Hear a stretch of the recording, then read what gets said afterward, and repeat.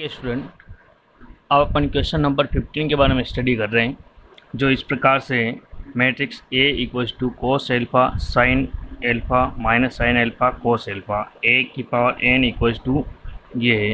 N क्या है? धनात्मक पूर्णांक है। इसके लिए अपन इसको सिद्ध करेंगे कि मैट्रिक्स ए ये दे रखी है और ए की पावर एन ये होगी। इसके लिए अपन क्या करेंगे? आपने इलेवंथ क्लास के अंदर गणित आगमन सिद्धांत पढ़ा होगा, उसको थोड़ा माइंड के अंदर लेके आएँगे और उस गणित आगमन सिद्धांत की सहायता से अपन इसको सिद्ध करने की कोशिश करेंगे और उसी का यूज़ करेंगे।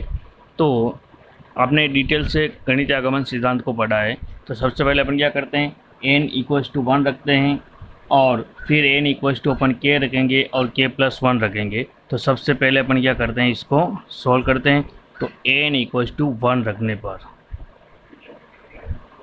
क्या जाएगा? एन इक्वल्स टू वन रखने पर तो ये बन जाएगा ए की पावर वन इक्वल्स टू क्या आएगा?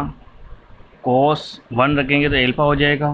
Cos alpha sine alpha minus sine alpha और यह आ जाएगा कोस एल्फा नेक्स्ट स्टेप में अपन क्या करेंगे? एन इक्वल्स टू के रखेंगे। क्या रखेंगे? एन इक्वल्स टू के रखने पर। तो ये बन जाएगा ए की पावर के equals to cos K alpha sine K alpha minus sine K alpha और कोस के एल्फ़ा नेक्स्ट स्टेप में अपन क्या करेंगे? के N equals to K plus one रखेंगे। N equals to K plus one रखने पर तो ये बन जाएगा ए की power K plus one equals to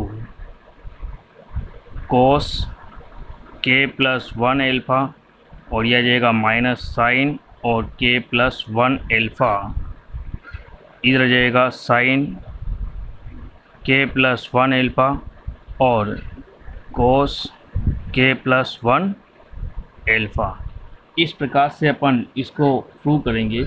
तो अपन के प्लस वन को अपन क्या लिख सकते हैं? देखिए। तो यहाँ पर एक ट्रिक और भी है कि अपन जैसे के को के प्लस वन ए की पावर क्या है? के प्लस वन है। इसको अपन लिख सकते हैं ए की पावर वन और गुणा ए की पावर के क्या लिख सकते हैं? आधार समान होने पर क्या होती है? घातें जुड़ती है। इसका, इसको भी लेकर के अपन मल्टीप्लाई करके भी सॉल्व करेंगे तो भी यही वैल्यू आएगी। इसका मतलब अपन क्या कह सकते हैं? परिणाम के अनुसार अपन ये कह सकते हैं एन बराबर के प्लस वन के लिए सत्य है।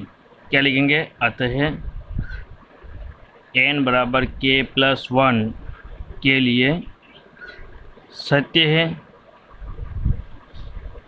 इसका मतलब गणित आगमन सिद्धांत से सत्य होता है कि क्या सत्य होता है?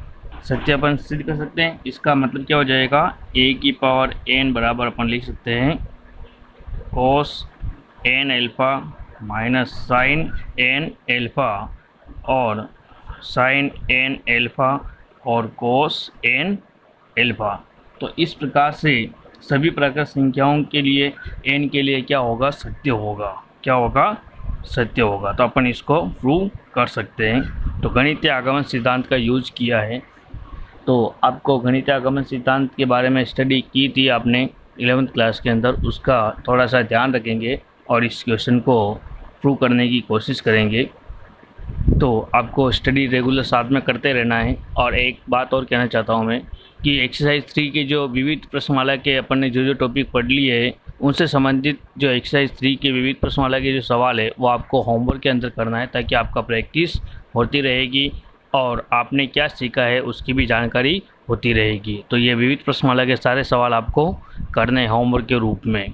ताकि आप थोड़ा सा प्रयास करेंगे तो मैथमेटिक्स को समझना और ही आसान हो जाएगा। और किसी क्वेश्चन के अंदर डाउट होता है तो आप उसको क्वेश्चन मार्क लगा दें और आप मैसेज के थ्रू आप ये भी कह सकते हैं कि ये वाला क्वेश्चन हमारे को नहीं आया। आप मैसेज के अंदर डाल देना, मैं उसको सॉल्व करके बता दूँगा। लेकिन प्रयास आपको करना होगा। ऐसा नहीं है कि बिना प्रयास किए आप डाल दो कि ये क्वेश्चन हमारे को नहीं आ रहा है। पहले आप प्रयास करेंगे, उसके बाद उसको डालेंगे। अगर वास्तव में नहीं आ रहा है तो मैं आपको बताने की पूरी कोशिश करूँगा। धन्यवाद।